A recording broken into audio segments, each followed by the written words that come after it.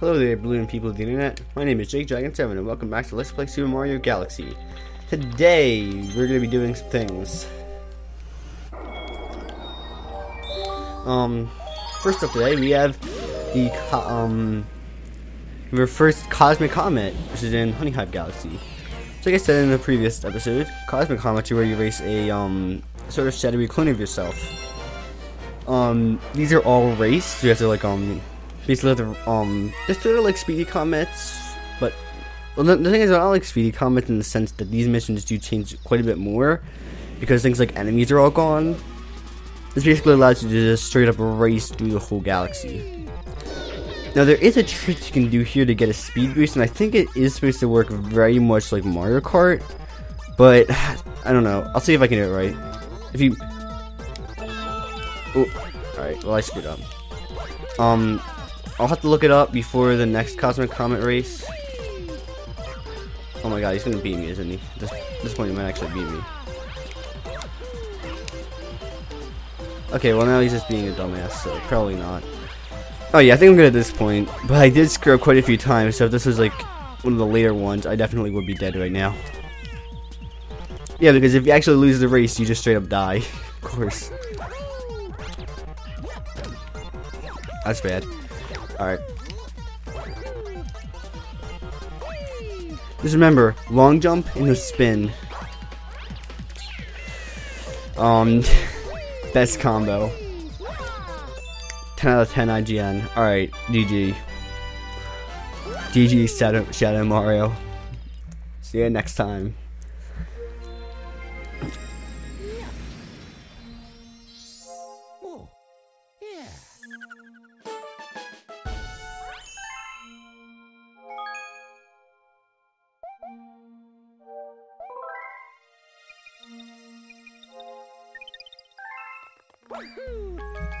I wish. I really wish you guys could see how I have to um, use my pointer, because it is not fun using the pointer for this game, like right now.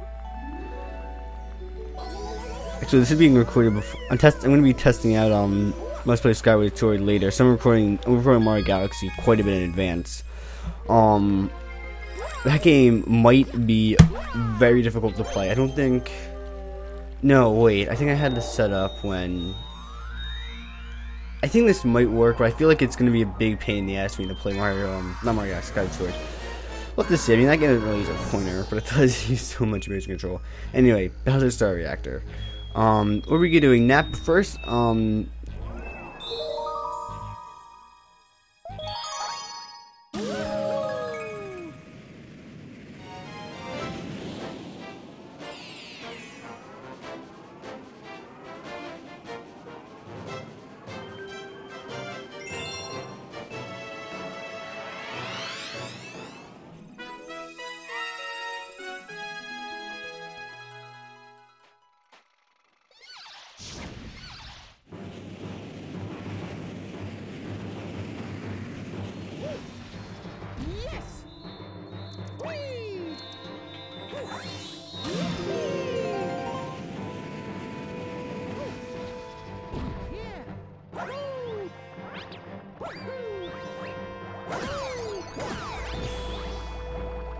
yeah, that was scary. Um, see what's up here real quick. I didn't even know you could do that. Okay, that's cool. Um, anyway.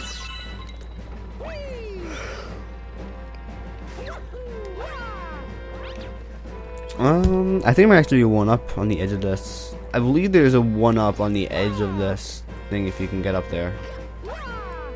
Ah, maybe not. Maybe um, maybe in hmm, maybe in the other airship level in this game, or that might be in a level in Galaxy 2.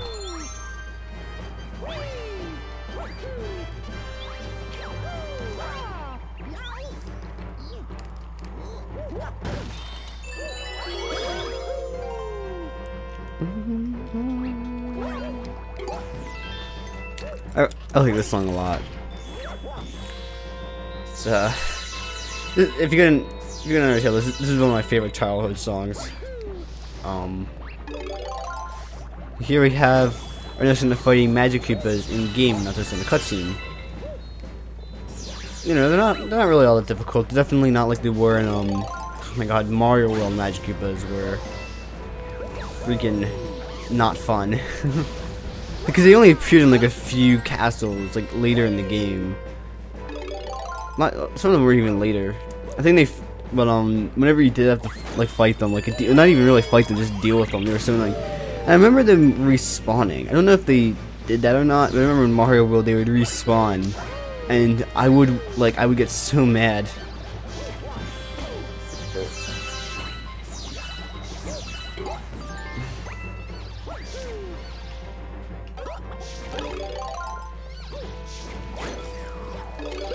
Assuming red shells come in on them, right? I know, like a perfect straight shot there, so Alright, let me see here.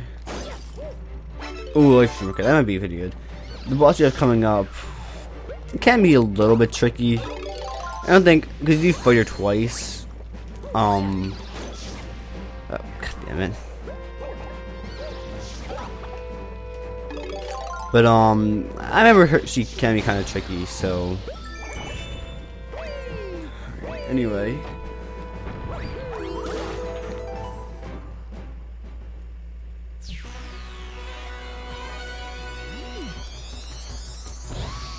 Me can't be me Kamella. No, but seriously, she looks so much like Kammy Koopa. It, it's I don't know why they didn't just name her Kammy. Uh, that would have been such a cool Paper Mario cameo too. Oh, she just looks like a larger version of Kammy, and even still, the Paper Mario characters have like more, I guess, like chibi type of designs anyway. Yeah, nothing about this. is what a 3D Kammy would look like, and her name is Kamella. I don't know. It makes like no sense. I mean, I guess she has a lipstick. Can't keep it didn't have lipstick. But even still, like characters get redesigned every time. It's, it's not that big of a deal, really. And like I said, Paper Mario fans would have been like super happy to see this.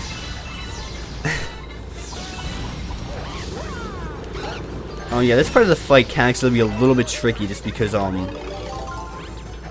kind of have like Magic Koopas bombarding you with fire from like everywhere Oh, God damn it.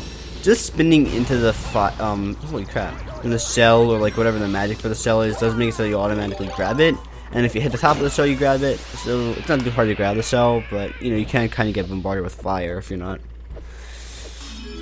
too careful. You can't, you know. Anyway though that's you know not too bad. Uh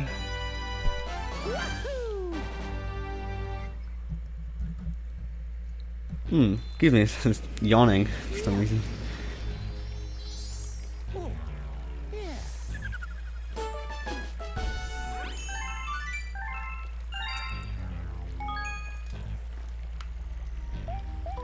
Alright game, stop with the ominous music now, I wanna go to the freaking boss level.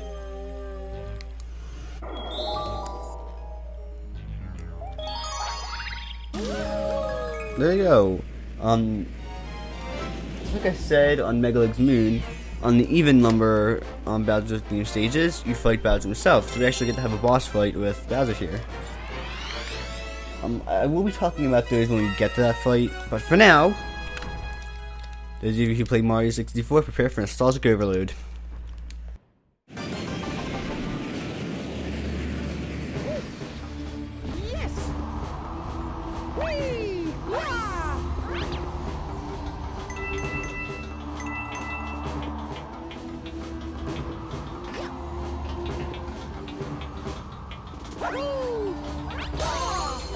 I love this song so much. Uh,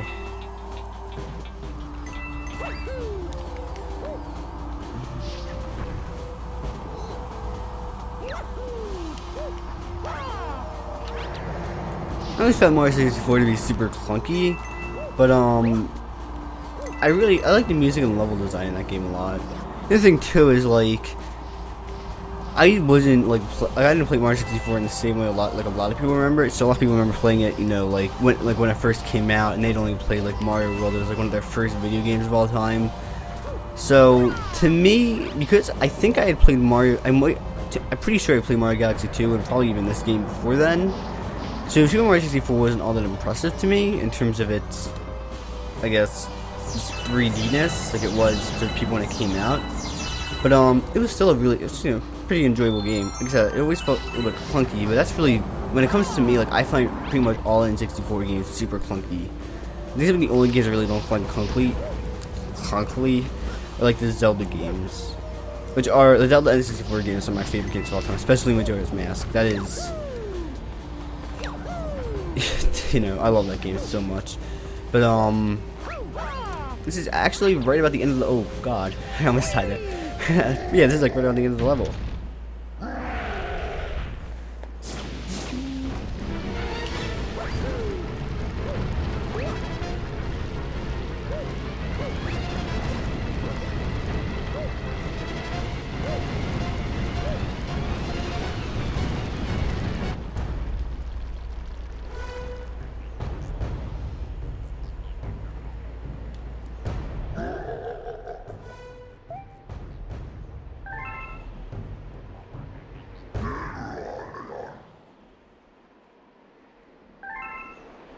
Know if that's. Oh, wait, space bits? What are space bits?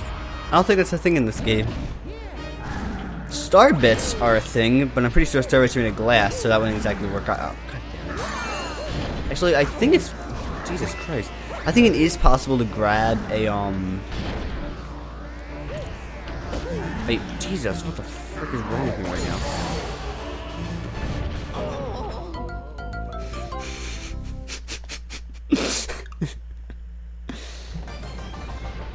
Okay. I'm pretty sure it's possible to grab a life stream here, though. I'll have to look a little closely, a little more, a little more closely, I should say. Oh my god, I ran right past it.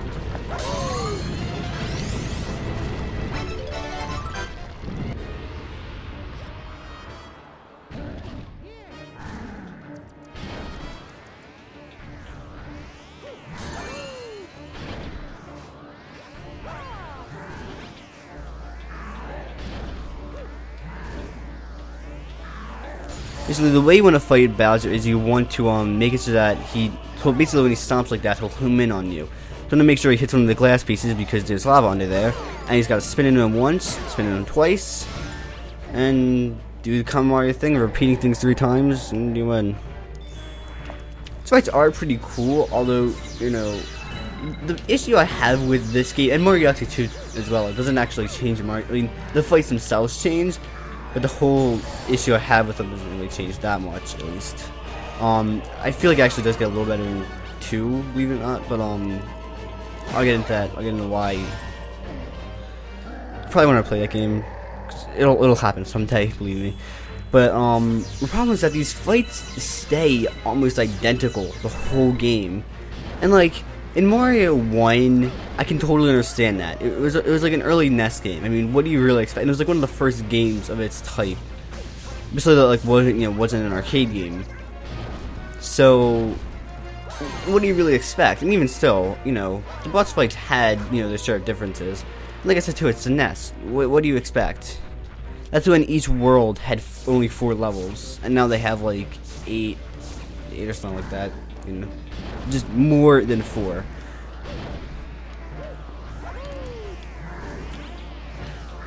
But um, this is the this is Super Mario Galaxy on the Wii. I feel like Nintendo could have been just a little more creative with these fights. I mean, yeah, you got things like this where you have to hit him, you have to spin him three times. I mean, but like, does that really change the fight that much? Not really. I I feel like I will probably talk about it more later on. I, I kind of keep spoiling things, but like I said, a lot of people have played this game, so I guess if I inadvertently spoil everything, most people aren't going to care because they've already played the game, probably you know a few times at least. Um, but yeah, that that's something that really bothers me about this game. And again, it's not like it's different in Mario Galaxy 2, and the worst part is too, Bowser Jr.'s fights don't stay copy and pasted they are all completely unique from each other. Now, Bowser Jr. is slightly unique in the fact that you don't really fight him directly. Especially in the first game, you only fight him directly once. In Mario Galaxy 2, you fight him directly twice. So you don't always really fight Bowser Jr. yourself. But each of the fights on his stages are all different from one another. I mean, they all have differences. They're all actually really fun fights. Megaleg, You, you can't go wrong with Megaleg, you know. Um, I feel like in this game, the fifth Bowser Jr. fight wasn't too great, and the fir- and Mario Galaxy the first one isn't too great. Other than that, they're all you know pretty good. Well, I mean, like the fifth level is what I meant. Like the fifth Bowser, I guess the third Bowser Jr. fight technically. Oh, and we have a new comment. Nice comment.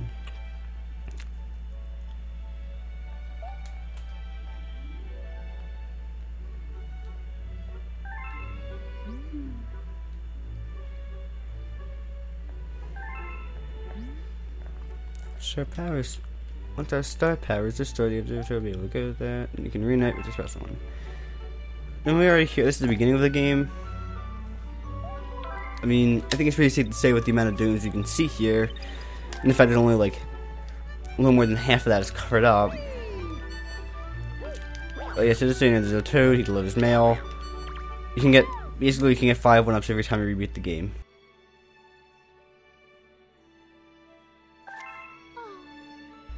And these notes just make no sense. I'll just let you read it for yourself. Well, well how does this work? Just, just give them to me. And how the hell? How the hell does that work? Bowser, up your security. Up your boss fights too. I mean, come on. Alright, uh, so, um...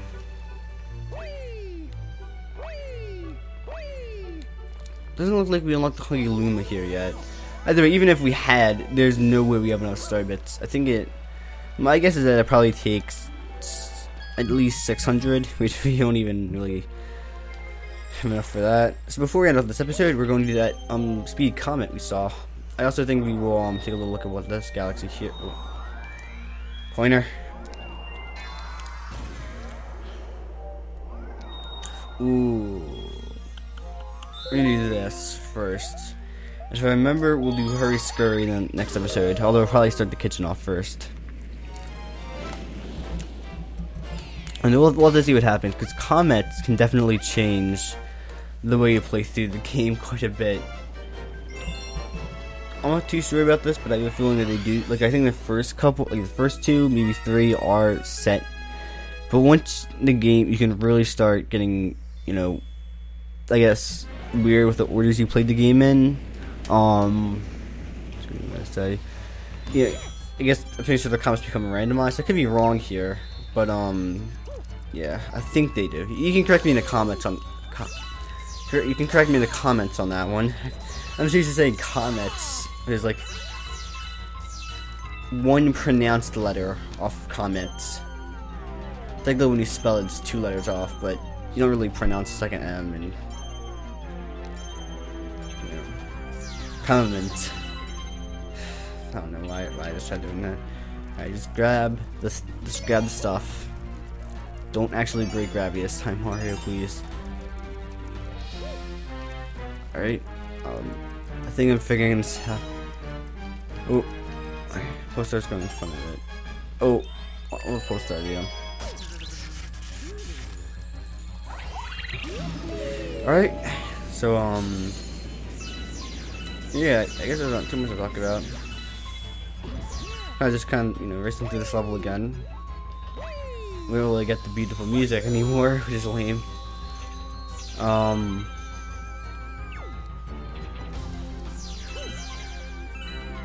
Hmm. Yeah, that's really all I can say. Hmm. Cool. This is so cool, guys.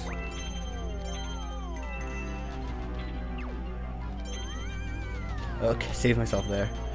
Okay, that's yeah. Like I said, I was shown that in the last episode, but now I actually do get to see it actually happen. She did the cool these Pull Stars. Pointer, cooperate with me, Pointer, please.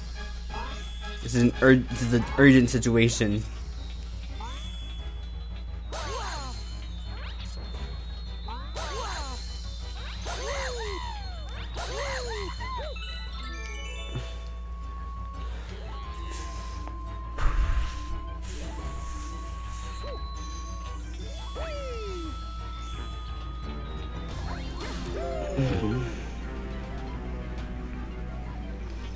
Yeah, so just kind of be careful that you don't die here, especially because these um, comet, Pricer comets don't really have checkpoints.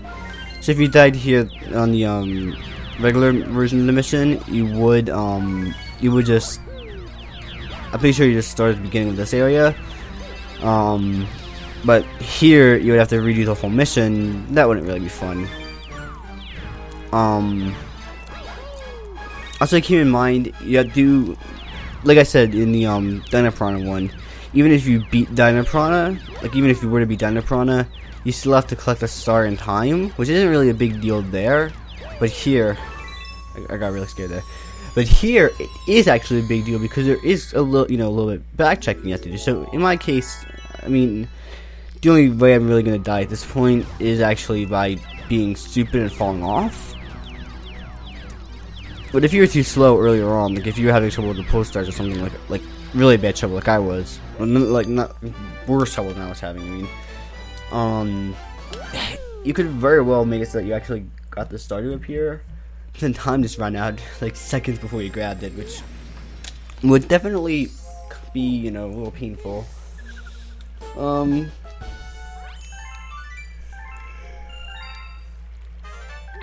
That is just really two dooms.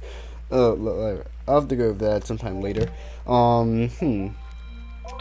So then, everyone, um, if you enjoyed this episode of Let's Play Super Mario Galaxy, um, if you enjoyed, you can subscribe, I guess. You can see more of this. And, um, yeah, next episode we'll be checking out, um, reading a few more things in the fountain. Uh, maybe something that's hot. Actually, no. Maybe, maybe the terrace have some secret stars up here. And we'll be checking out the kitchen for the first time. So that'll be fun. Um, yeah, that, that's about it. See you guys then. Hello everyone, and thank you for watching today's episode of Let's Play Super Mario Galaxy.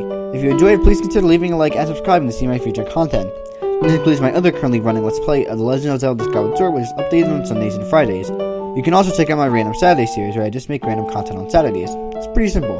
I also have a Repeat Thursday series. It's basically a spin-off of Random Saturdays, where I repeat concepts from previous Random Saturdays and make them into new videos, or even full series. If you want, you can also follow me on Twitter at JakeDragon7. Alright, I hope to see you again in the future. Bye.